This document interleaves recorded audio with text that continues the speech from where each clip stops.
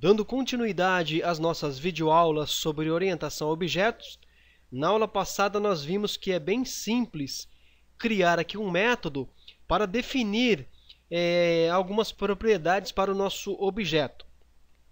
Tomando como base ainda é, o assunto anterior, eu vou criar aqui agora um segundo método, tá? Eu vou até fazer uma cópia, pessoal, disso aqui, para a gente não ficar perdendo tempo tá? com coisas triviais.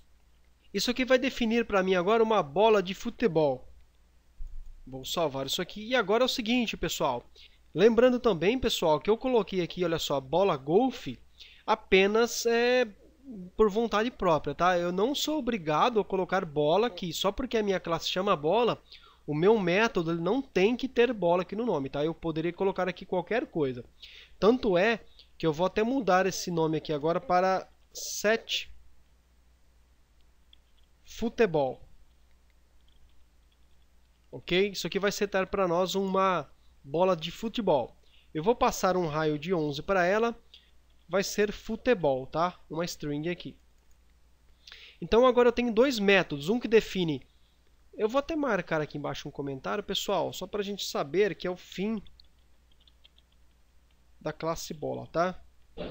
Lembrando que também, pessoal, se você não, nunca utilizou aí o Notepad++, se você segurar o Ctrl do teclado e girar aqui o scroll do mouse, ele aumenta e diminui o texto, olha só. Ok? Aí você verifica aí qual é a opção que melhor se enquadra aí no teu gosto, tá?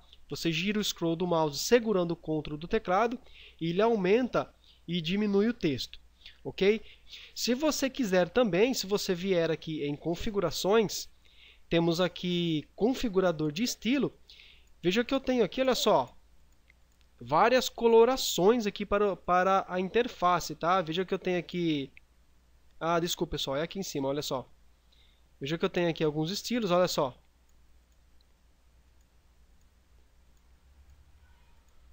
Olha lá. Não sei se tem algum aí que se enquadra aí no teu gosto.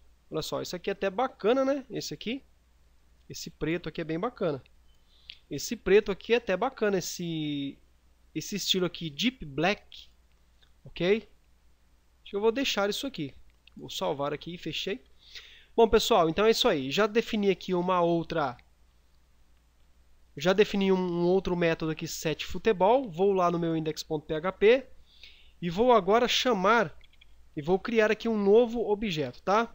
Vou criar aqui um objeto chamado futebol e esse futebol vai receber a minha classe new bola também, como nós já já falamos anteriormente. E agora eu preciso passar também aquele método, tá? Então vamos lá, o meu futebol. Passo aqui o ponteirinho. O meu método se chama setFutebol, tá?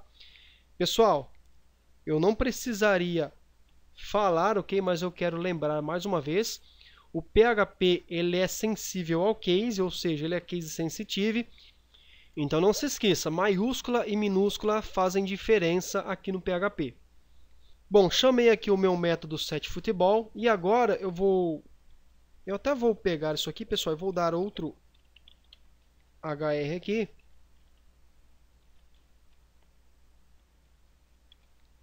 E vou agora dar um var dump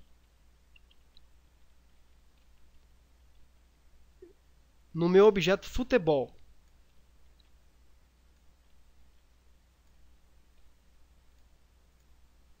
Vou salvar aqui, atualizo.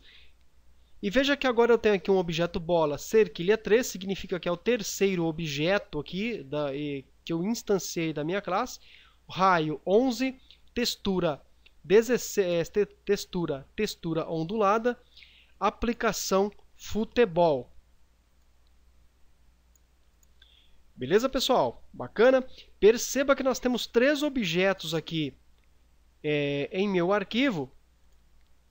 Eu tenho três objetos aqui. Eu tenho o bola, o bola golfe e o futebol. Eu tenho três objetos, ok? Cada um com sua particularidade, com suas particularidades e nenhum deles interfere e influencia nos outros objetos. Ou seja, eu tenho uma única classe chamada bola que tem estas propriedades, esses atributos, e eu consigo manipular individualmente através dos métodos lá da minha classe chamada bola, tá?